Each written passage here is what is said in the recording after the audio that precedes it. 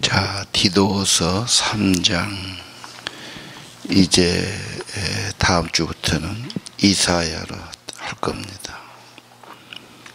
우리 디도서 짧지만 음, 유명한 바울 사도 디도에 대한 목회의 메시지를 주셨지요. 예. 좋은 지도자를 갖는 게 중요하다. 믿음의 계승을 시키고 믿음의 아들, 믿음의 리더를 만드는 것이 교회에서 참 중요합니다. 교회 안에 잘못된 것이기 때문에 순결하고 깨끗한 양심 가진 거 예, 정말 생명처럼 소중한 거다 그랬죠. 위장에는 삶을 말하죠. 어, 언제나 목표는 삶입니다. 좋은 삶. 직장에도 범사에 순종하고 기쁘게 거스려 말하지 말고 훔치지 말고 우리 주님의 교훈을 빛나게 해라. 결국 그것이 자기도 좋고 남도 좋고 다 그런다고 말씀하지 않습니까? 자, 오늘은 뭡니까? 선한 일이란 제목이 붙어 있지요. 예. 선하게 살아라. 선한 삶. 선한 걸 누가 싫다 하겠습니까? 악한 것과 비교되지 않습니까? 예. 선한 삶은 권세 앞에 복종하고 순종해라. 이게 사회 질서입니다. 무질서는 이건 아주 위험하고 살기 어려운 거죠. 질서가 있다. 부모가 있고 자식이 있고 남편이 있고 아내가 있지요. 질서를 지켜야 돼. 법이나 규칙도 마찬가지죠.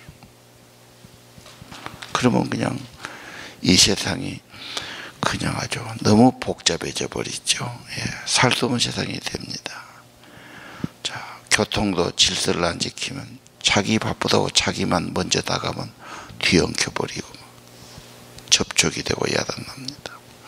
그래서 오늘 선한 삶은 사회생활은 이 권세, 어떤 법칙, 복종하고 순종하십시오. 물론 잘못된 것은 고쳐 나가야 돼요. 그러나 일단 우리 어떤 사회생활에서는 규칙을 지키는 게 중요하다. 근데 한국 사람은 이런 교육이 좀 안 되지요. 그냥 그대로 살면 너무 손해 갖고 그거 안 하고 살아야 되겠지만 그거는 자기도 손해고 공동체에 해가 되는 거죠. 복종하고 순종하십시오. 선한 일은 그런 겁니다. 그 다음에 2절에 보니까 이건 하지 마십시오 그 말이에요. 남을 비방하거나 다투지 말고 험담하고 남하고 다투고 그러면 어떻습니까? 같이 살기가 힘들지요. 대신에 뭐라고 그러죠? 하지 말고 기억해야 될 것은 관용하고 범사에 온유해라.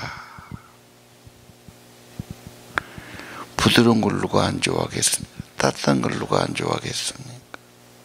너그러운 걸 누가 안 좋아하겠습니까? 자, 행복은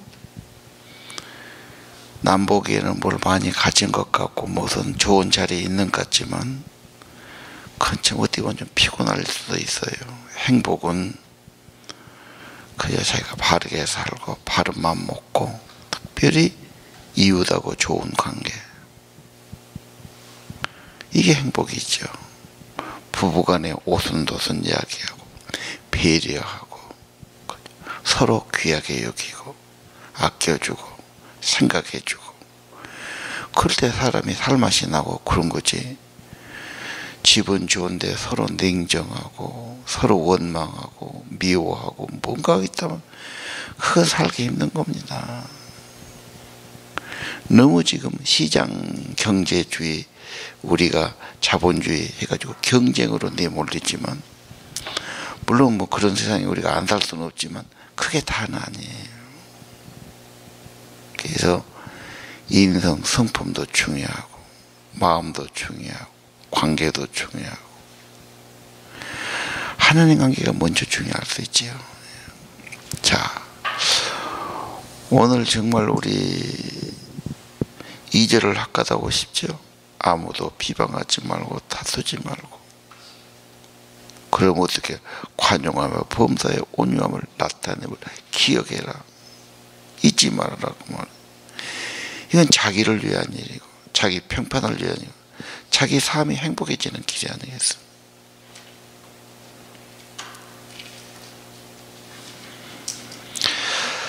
자, 선한 삶은 뭐냐? 관용하고 온유하다. 범사에 따뜻한 사람이 인정 있고 남을 배려하고 받아주고 자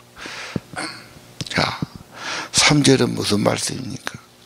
옛날 과거 구원받기 전에는 우리도 세상에 죄 짓고 종로로 사고 순종치 않은 자 속이고 사는 자 정욕과 행락의 종로로 다 욕심이 있죠. 자기 중심이 있죠. 그렇죠? 그리고 자기 안에 어떤 그런 욕심과 지욕을 품고 사니까 행복할 리가 없잖아요. 악독한 자요, 투기하고 시기하는 자요, 가정스러운 미워하고 사는 정욕이 많을수록 시기하고 미워하지요. 자, 인간의 삶이 뭐냐? 육신의 삶은 3절 죄의 종이고 욕심의 종이다.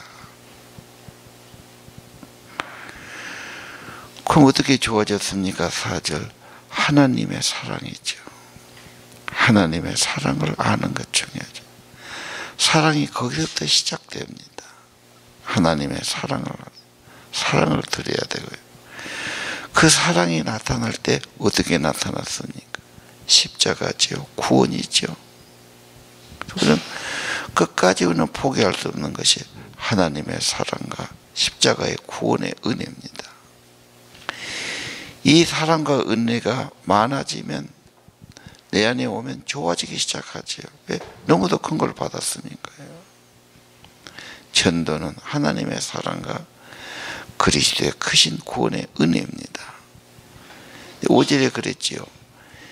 네 행위가 아니라고 그러잖아요. 음,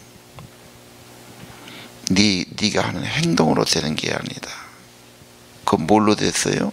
오직 그리스도의 긍휼. 특별히 중생이란 단어 거듭나지요. 성령으로 새롭게 하심이죠. 중생은요. 새 생명을 주시는 거죠. 마음과 영혼이 새로워지지 않습니다. 거듭난다는 단어가 정말 중요합니다. 다 요구해요. 나도 좀 새로워지고 싶다. 새 마음 갖고 싶다. 내가 왜 이렇게 불순종하고 남하고 다투고 미워하고 욕심 부리고 이렇게 살아갈까? 자기도 좋지는 않지요. 하나님의 사랑, 구속의 은혜, 하나님의 큰 긍휼, 특별히 중생이 중요하다. 그러니까가 삼재라고 비교되잖아요. 과거는 그렇게 살았는데 이제는 그런 것 좀 이제는 졸업했다 그 말이죠. 자, 이 성령을 주시는데 6절에 뭐라고 설명하니까 구주 예수 그리스도를 말미암아서 성령을 부어 주시는 거예요. 이게 우리는 거듭났지만 계속 성령의 충만이 부어지기를 기도해요. 그럼 욕심이 중심이 아니라 성령이 중심이 되겠지.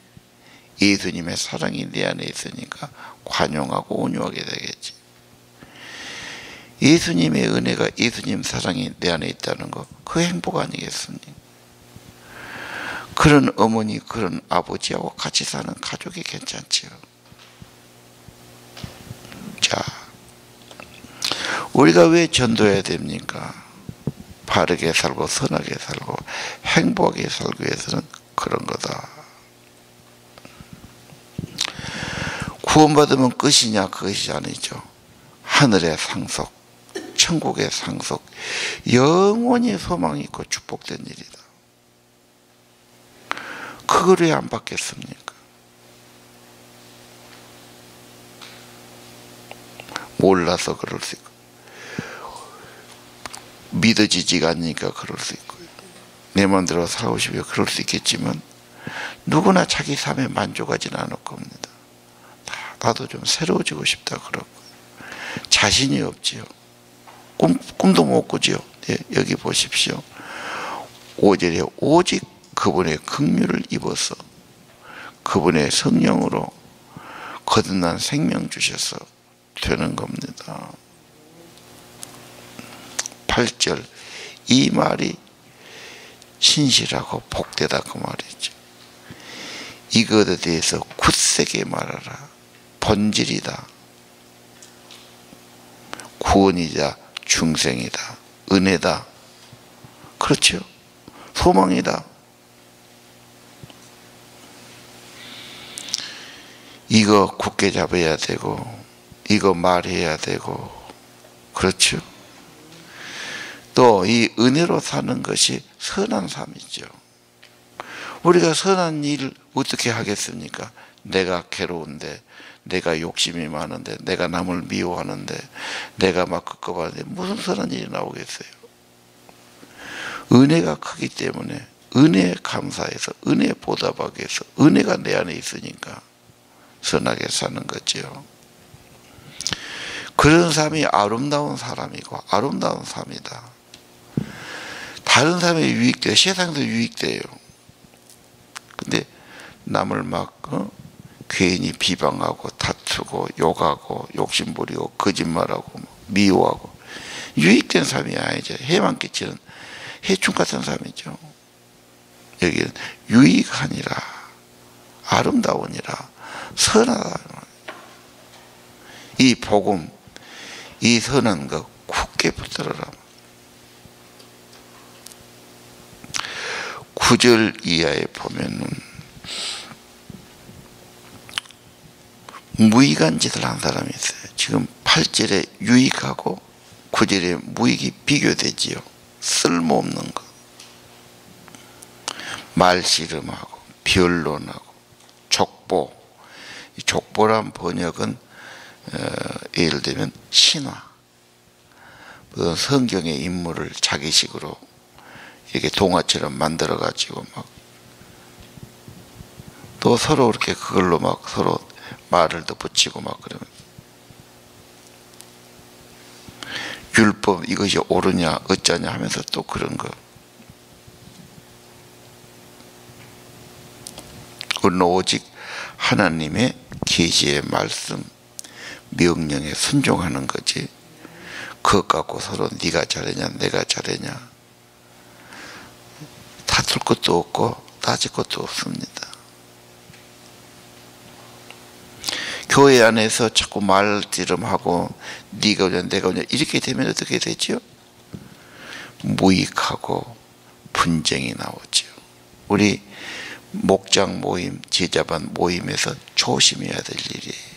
교리 논쟁이 벌어지고 옳으냐 틀으냐 그러고 뭐남 뭐 시비하고 뭐 바로 그냥 깨지죠 그러면요. 절대 가르치려지 말고 그런 소리 하지 말고 내 삶을 이야기하고 고백하고 기도해라. 질문해라. 그렇게. 그리고 뭐 딴소리 하면 못하게 막아야 돼요. 하지 마십시오. 그러면 안 됩니다. 누가 여기에 올라가겠습니까? 이렇게 해야지. 내버려 두니까 자꾸 그렇게 하는 거예요. 손동원 가고 있다. 바로 입에다 갖다 넣어줘야 됩니다. 안 된다. 무익한 거예요. 10절 2단 말하고 딴소리 하는 사람 있지요. 훈계하고 안 되로 멀리해라. 가까이 할 사람이 있고 안 될 사람이 있어요.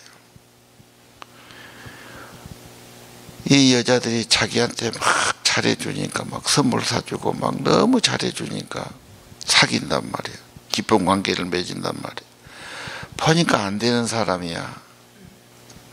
그래서 이제 그만 사귀자 그러니까 막 집, 철가 안 놔주잖아. 나중에 그러면 때리고 죽여버리죠. 사귀다가 죽은 여자가 하루에도 몇 명씩 돼요. 사귀지 않을, 안 해야 될 사람이야. 안 되는 사람인데 자꾸 뭐 사주고 잘하니까 그냥 정조 갖고 그런 거 아니에요. 여러분, 안 될 사람은 아예 안 되는 거예요. 어떻게, 그냥 마음이 부처님 같이 넓어갖고 그냥 아무나, 그 어쩌자는 거예요, 어떻게 거예요. 반드시 악의는 있어요. 안 되는 건 안 되는 겁니다. 멀리, 멀리 해야지. 그런 사람은 스스로 부패했어요. 자기 스스로 잘못된 걸 선택한 사람이에요. 자. 12절 이하는 이제 마지막 당부 부분입니다. 두기고를 보내지요. 그리고 내게 오라고 그러지 않습니까? 자, 겨울은 언제나 춥고 움츠리고 살기 힘든 계절입니다. 이제 좀 겨울이 지나니까 날씨도 좀 좋아지고 머지나 봄이 오면은 날씨가 좋으면 모든 풀들이 싹더 올라오고 나무 잎이 나오고 막 그러지 않겠어요? 따뜻하니 좋겠죠. 생명이 막 쏟아오르죠. 겨울과 어려울 때는 격려가 되는 사람, 도움이 되는 사람이 필요해요. 믿음의 사람. 힘들다고 혼자 고민하면 우울증 걸려버려요, 사람이요. 그때는 믿음의 사람, 도움이 되는 사람, 격려의 사람 만나야 됩니다. 우리 13절에 부족함이 없다는 단어가 나오죠. 물론 물질로도 그러지만 좋은 사람, 믿음의 사람, 도움의 사람, 기도의 사람이 오면은 그게 좋은 겁니다. 그 여러분 믿음의 사람의 만남을 항상 소중히 생각해야 돼요. 귀하게 생각해야 돼요. 그들이 나를 위해서 마음을 모고 나를 위해서 진실히 기도해 준다. 이건 엄청난 축복인 겁니다.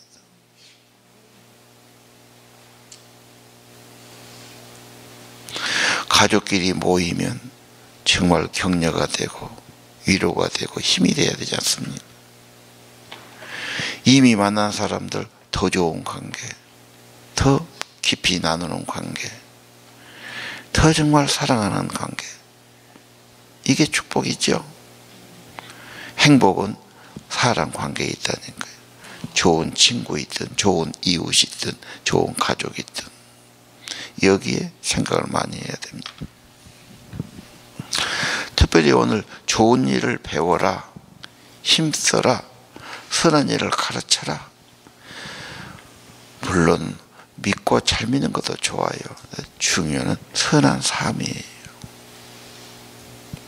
그래서 온유하고 아까 말이죠. 관용하고 사랑하고 선하고 얼마나 귀한 겁니까? 이게 뭐 학교에서 공부한다고 될 일도 아니고요. 하나님의 은혜가 나타나고 은혜에 붙들려서 교회는 계속해서 선한 일을 더 하도록 선한 삶을 더 살도록 격려하고 그렇죠. 준비도 하고 배우기도 하고 왜 그럽니까? 14절 열매 열매 열매 없으면 뭐죠? 헛살았어요, 헛살아. 아무것도 없어요. 내가 살면서 제자가 있고, 좋은 교인이 있고, 전도자가 있고, 사명자가 있고, 열매가 아니겠어요. 그리고 그들이 결혼해서 좋은 아빠가 되고, 좋은 남편이 되고, 열매지요. 시집 가가지고 좋은 아내가 되고, 좋은 엄마가 되는 건 얼마나 귀합니까? 너무너무 중요한 겁니다. 15절은 함께하는 사람들 격려하고 무난하고 사랑하고 축복하지요. 가족끼리도 서로 어떻습니까? 인사 잘하고 그렇죠. 축복하고 그게 좋은 가정이죠.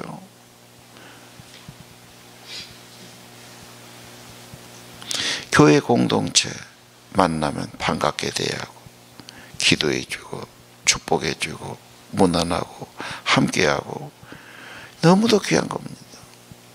어디 보면 교회는 정말 좋은 관계들 믿음의 관계, 기도의 관계, 사랑의 관계 이건 정말 열매의 그 축복이죠.